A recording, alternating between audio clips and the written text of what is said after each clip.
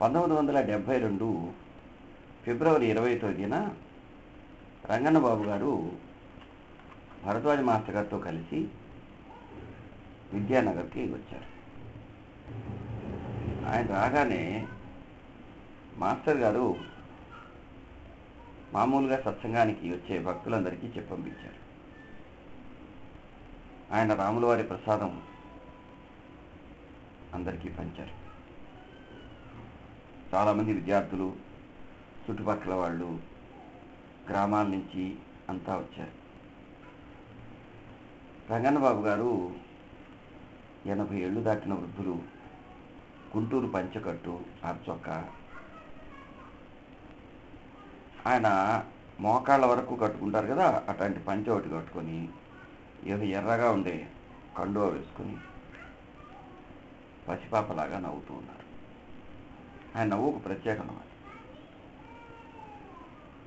కల్మషం లేని నవ్వు నవ్వుతాడు ఆయన. సరే ఆయనను బాగా గమనిస్తే ఆయన కళ్ళు ఏదో గొప్ప శాంతిని సంతోషాన్ని పొందుతూ ఎక్కడో ఉన్నట్టు కనిపించింది రాముల వారి నిత్య దర్శనం సాధించిన మహాపురుషుడు ఆయన. వెంటనే ఆయన మాట్లాడుతూ ఉంటే మనకు ఎట్లా ఉంటుందంటే ఆయన వెంట ఉండే వాళ్ళందరికీ ఒక ప్రత్యేకమైన సాన్నిధ్యంలో ఉన్నాం అనిపిస్తూ ఉంటుంది. సరే సాయంకాలం అయింది. చుట్టూ అందరం కూర్చుని ఉండగా మాస్టారు మామూలుగా విద్యానగర్లో సత్సంగంలో చేసుకునే భజన యథారీతిగా సుమారు ఒక ఇరవై ఐదు ముప్పై నిమిషాలు చేశారు. ఆయన నిశ్చలంగా మా మధ్య కూర్చున్నారు. మా భావనలో ఆ భక్తుడి రూపంలో రాముడే కూర్చున్నాడని కూడా అనుకున్నాం మేము. భలే పారవశ్యంగా ఉంది. పక్క గ్రామాల నుంచి కొందరు బళ్ళు కట్టుకుని కూడా వచ్చారు. గదే కాకుండా గది పక్కనంతా కూడా జనసందోహం ఉంది. ఇంతలో భజన హారతి ప్రసాద వినియోగం జరుగుతుంది. రంగన్నబాబు గారు చాలా సంతోషంగా ఉన్నారు. అయ్యా వీళ్ళందరూ రోజు వస్తారా? అని అడిగారు. లేదు బాబు గారు ఇక్కడ గదిలో ప్రతి గురువారం పండుగ రోజుల్లో మాత్రమే భజన చేసుకుంటాం అన్నాడు అప్పుడు ఆయన అడిగారు అందరికీ చాలా ప్రసాదం పెడుతుంటే వీళ్ళందరికీ సరిపోతుందా అయ్యా?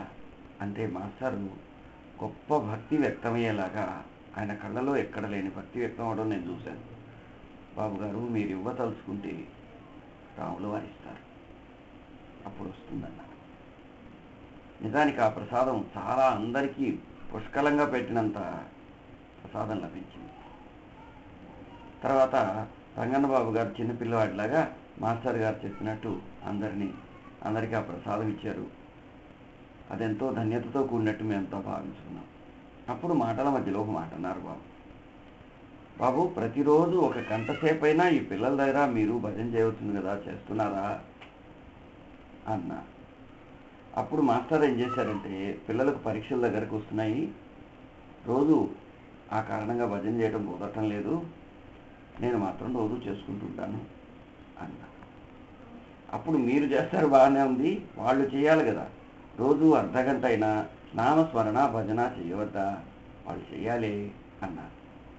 ఆయన ఆ మాట మాటి మాటిగా అంటూ ఉన్నప్పుడు మాస్టర్ అన్నారు అయ్యా చూడండి అని విద్యార్థుల్ని వాళ్ళని ఉద్దేశించి నామస్మరణ సరిగా చేయటం లేదు. అందుకే బాబుగారు ఎంతసేపు వాళ్ళు చేస్తేనే కదా అని మిమ్మల్ని గురించే చెబుతున్నారు అంటూ తండ్రి తన బిడ్డలను జ్ఞాపకం చేసినట్టు చెప్పారు. బాబుగారితో ఆయన అన్నాడు బాబుగారు ఈ బిడ్డలందరికీ శ్రద్ధాభక్తులు కుదిరేలాగా వాళ్ళకు భగవంతుడంటే ఎక్కువ ఇష్టం ఉండేలాగా వాళ్ళ జీవితం ఉన్నతంగా ఉండేలాగా ఆశీర్వదించండి. దానికి వెంటనే ఆయన అన్నారు వాళ్ళు చేయవద్దా అయ్యా? వాళ్ళు చేస్తే రాములు వారు ఇస్తారు కదా. ఎవరిది వారే చేసుకోవాలి. నేను ఇస్తే లాభమేమి నేను కూడా మీ వలే ఉన్నాను కదా. నేను కూడా మీలాంటి ఉండే కదా. అన్నా నేను కూడా మీలాగే ఉన్నాను కదా.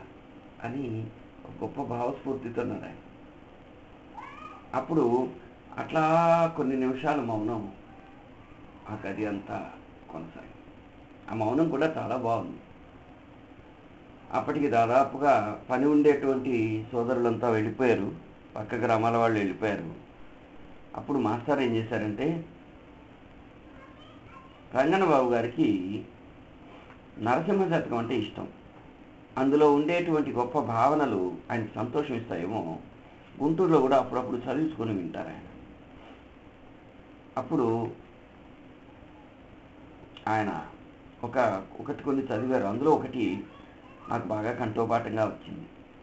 అడవి పక్షులకెవ్వడాహారమిచ్చెను మృగజాతికెవ్వడు మేతబెట్టే వనచరాదులకు జీవనమెవ్వడిపించే చెట్లకెవ్వడు నీరు చేదిపోసే. స్త్రీల గర్భంబున శిశువునెవ్వడు పెంచే. పనులకెవ్వడు పోసె పరగ విషము. మధుపాళికెవ్వడు మకరందమునరించే పశులకెవ్వడు సంగి పచ్చిపూరి జీవకోట్లను పోషింపనివే కాని. వేరే ఒక దాత లేడయ్య విధికి చూడా.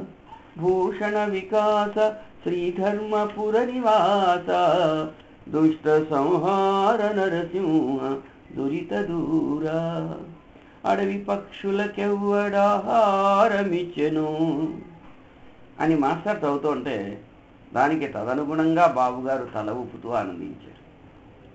సకల జీవులను పోషించే సృష్టికర్త భర్త అయినా శ్రీరామచంద్రుల వారు. సాయిరాముడి ఎదుట మాకు నిత్య దర్శనం ఇచ్చినంత ఆనందం కలిగింది.